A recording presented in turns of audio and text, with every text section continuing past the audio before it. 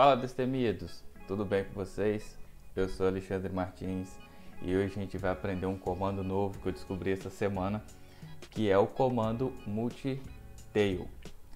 O multitail ele é uma mistura de do comando tail "-f", que a gente usa para continuar monitorando saída de arquivo, né? Saída é, de log, arquivos que eles estão em constante mudança e ao mesmo tempo a gente consegue é, escrever essa saída de arquivo, saída de comando em um determinado arquivo, é, usar como, como parâmetro para outro, outro comando, enfim, dá para fazer diversas coisas legais com esse, com esse comando novo.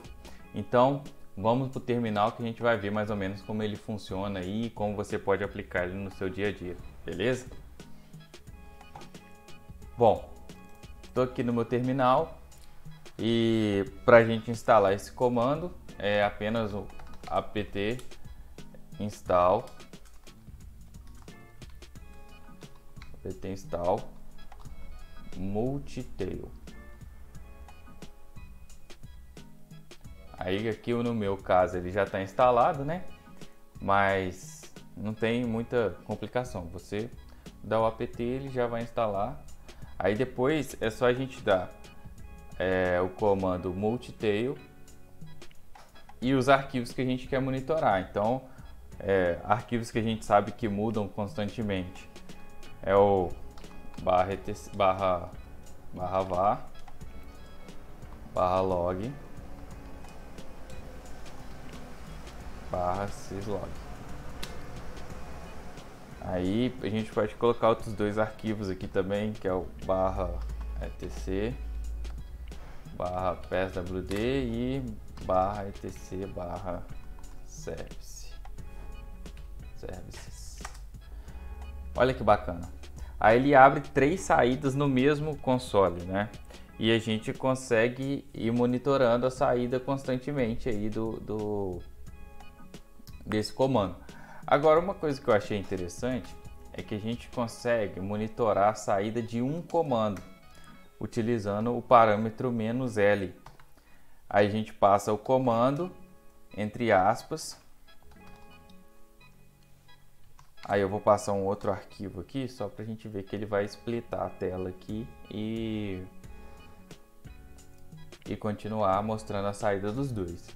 Então vou voltar aqui pro barra barra var barra log barra syslog. Tem dois, duas barras aqui de tirar um. Olha lá que bacana. Então na de cima ele começa a mostrar a saída do ping, né, normal, e embaixo ele fica monitorando o, o arquivo de log. Certo? Aí para sair, Ctrl C normal, né? E, e a gente continua com, com o console liberado. Aí é interessante olhar o manual dele também, né? Ele, ele vem com a sua com a sua com a sua página de manual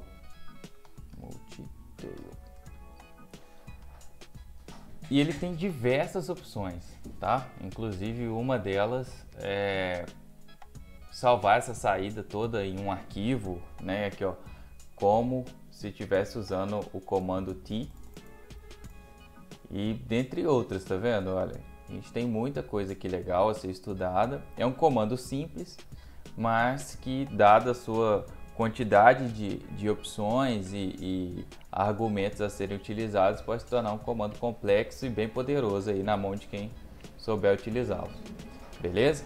Bom, essa foi uma dica rápida aí, tá? Eu espero que ajude você no seu ambiente de trabalho, até mesmo na sua casa. E se você gostou aí desse, desse vídeo, esse é um vídeo inicial, a gente está começando aí a, a criar vídeo, tá? Inclusive o nosso, nosso aparelho aqui de, de captura de imagem não é bacana, a gente está usando ainda a webcam do notebook, mas em breve a gente espera ter um uns equipamentos interessantes aí que possam melhorar a qualidade dos vídeos. Beleza? Eu espero ter ajudado e Tamo aí. Um abraço.